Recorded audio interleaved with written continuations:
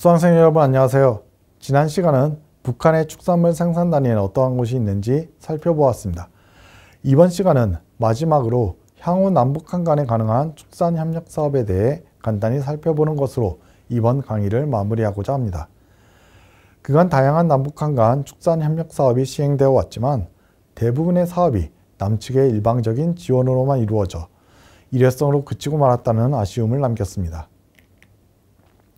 특히 축산 분야의 경우 대규모 시설 투자가 필요하며 북한 사육 환경에 적합한 유전적 형질을 지닌 품종의 개발 등 장기간의 협력이 필요한 경우도 있고 사료나 동물약품 등 사육의 필수적인 기자재들도 지속적으로 확보되어야만 장기적인 성과를 기대할 수 있는 분야라고 할 수 있습니다. 그럼에도 불구하고 이벤트성의 일회성 지원에 그쳐 사실 과거 한국이 젖소나 대지를 지원했던 지역에서 현재에도 안정적으로 사육이 이루어지고 있는지 한국이 지원해서 만들어진 축사시설들이 이후에도 개보수가 지속적으로 이루어져서 현재 운영이 되고 있는지 알 수 없는 실정에 있습니다. 따라서 향후 남북한 간 축산협력은 일회성 지원에 그치는 것이 아닌 특정 지역을 대상으로 장기적인 관계를 맺고 지속적인 협력이 이루어져야 할 필요가 있습니다.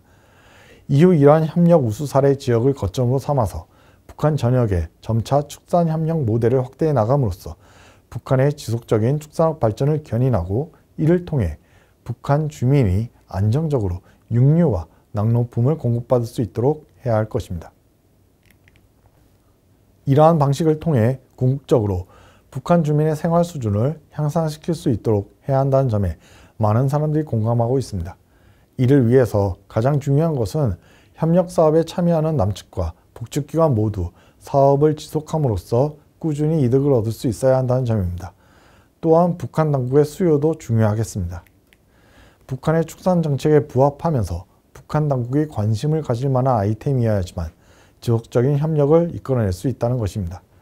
이러한 관점에서 가장 주목되는 것이 북한이 2017년에 준공한 대규모 축산기지인 강원도 세포지구 축산기지와 역시 북한이 외국인 관광지구로 육성하려고 하는 원산가르마 해안 관광지구입니다.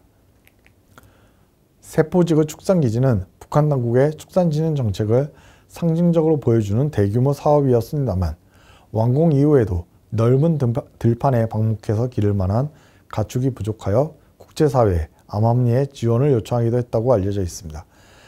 이에 대해 남측에서 종축을 지원하고 안정적인 사육 환경을 갖추기 위해 기자재와 관련 기술을 지속적으로 지원하여 북한 축산업의 선진 지역으로 육성하는 방안을 생각해 볼 수 있습니다. 또한 북한이 개발하고자 하는 원산 갈마 해안 관광지구 역시 세포 등판 축산기지와 같은 강원도에 위치해 있는데 이 두 지역의 지리적 인접성을 이용하여 연계 개발하는 방안도 남북 한 간 지속적인 상호 이익을 얻는 데 유망할 것으로 생각됩니다. 세포 등판 축산기지에서 생산된 축산물을 관광지에 공급하고 세포지구의 넓은 초지를 관광자원으로 개발하여 원산 갈마 해안지구를 방문한 관광객이 연계해서 관광하도록 하는 방식으로 구상해 볼 수 있을 것 같습니다.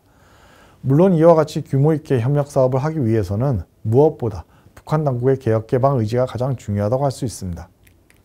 이 외에도 소소한 협력 아이템으로서 앞서 설명드렸듯이 북한이 나름대로 성과라고 내세우고 있는 분야인 친환경 농업이나 친환경 약품 등에서 남북한 간의 교류 협력을 추진하는 방안도 있을 것 같습니다.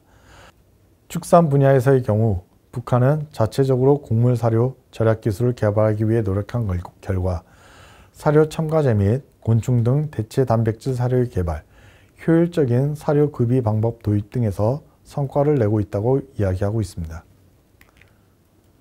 활용 가치가 있는 북한 기술의 경우 이를 남한에 도입해 볼 수 있으며 이 분야에서 북한의 관심이 높기 때문에 관련 기술 수준을 높이는 데에 남북한 기술자 간 협력을 모색해 볼 수 있을 것 같습니다. 또한 남북한 간 동물 방역 협력도 꼭 필요한 분야입니다. 과거 2000년대 중반 남북 교류가 활발하던 시절에 조류 독감 방역 협력이 이루어진 적이 있습니다. 동물 전염병은 남북한 간에 서로 전파될 수 있고 축산물 생산 기반을 파괴하여 큰 경제적 피해를 입히게 되는 만큼 서로 협력할 여지가 매우 큰 분야라고 할 수 있습니다. 지난 2019년에 아프리카 돼지열병이 전 세계적으로 유행한 적이 있었는데 당시 비무장지대에 사는 멧돼지를 통해 북한으로부터 남한으로 아프리카 돼지열병이 전파되기도 하였습니다. 한국은 상대적으로 방역 여건이 좋지만 북한의 경우 수위 방역 여건이 열악하기 때문에 큰 피해를 입을 수 있습니다. 당시에도 북한 황해도 일대의 돼지가 전멸하였다는 이야기가 있었습니다. 이와 같은 피해가 발생하지 않도록 향후 남북한 간 동물 방역 협력도 적극 추진할 필요가 있겠습니다. 지금까지 북한의 축산업에 대해 살펴보았습니다.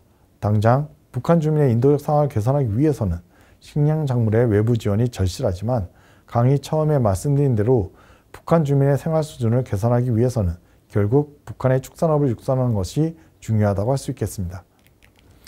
이번 시간에는 북한 축산업에 대한 이해를 도모하기 위해 북한 축산법을 중심으로 북한의 축산 정책의 내용을 살펴보는 한편 실제 북한에서 어떠한 방식으로 축산이 이루어지고 있는지 주요 축산물 생산단을 통해 알아보았습니다. 간단하게 협력 사업 방안에 대해서도 말씀드렸는데 앞으로 북한이 국제사회를 향해 더욱 문호를 넓혀서 북한 축산업에 대한 이해의 폭이 넓어지면 더욱 다양한 아이템을 구상해 볼 수 있을 것 같습니다. 이상으로 북한의 농업 세 번째 강의를 마칩니다. 다음 네 번째 강의에서는 북한의 농업 금융과 농산물 유통에 대하여 살펴보도록 하겠습니다. 감사합니다.